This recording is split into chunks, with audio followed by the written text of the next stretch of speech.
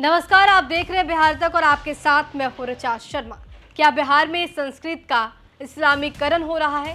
ये सवाल केंद्रीय मंत्री गिरिराज सिंह ने उठाए हैं।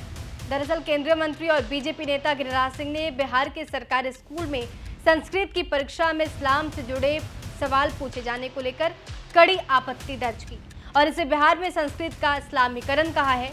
ये पूरा मामला बिहार के सरकारी स्कूल में नौवीं कक्षा में संस्कृत की परीक्षा में इस्लाम से जुड़े कई सवाल पूछे जाने को लेकर जुड़ा हुआ है।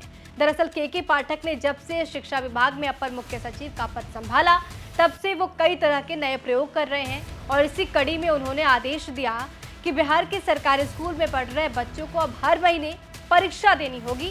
इसी कड़ी में गुरुवार को नौवीं कक्षा में संस्कृत की परीक्षा हुई, जिसमें इस्लाम से जुड़े कुछ सवाल पूछे गए। दस सवाल कम से कम पूछे गए, जिसमें जिसको लेकर अब बवाल खड़ा हो गया है।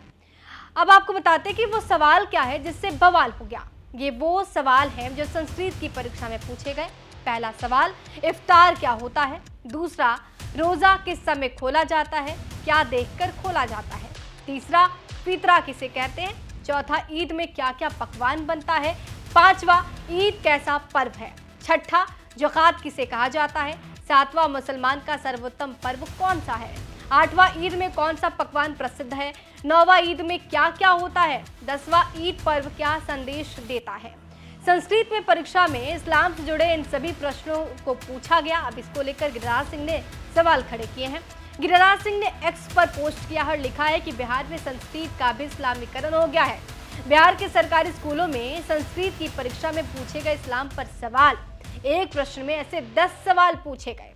अब ये गिरिराज सिंह का जो पोस्ट है वो सामने आया, जिसके बाद से अब लगातार सवाल उठ रहे हैं और बिहार की सियासत में चर्चाओं का बाज़ार एक बार फिर से गर्म हो गया है।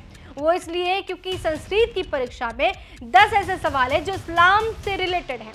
इस्लाम से जुड़े हुए हैं। ऐसे में अब ये सवाल उठ रहे हैं कि क्या संस्कृत का भी इस्लामीकरण कर दिया गया है। अब आपको इस मुद्दे पे क्या कुछ कहना है, हमें कमेंट बॉक्स में ज़रूर बताइए। बिहार की तमाम खबरों के लिए बने रहिए हमारे साथ और देखते रहिए बिहार तक।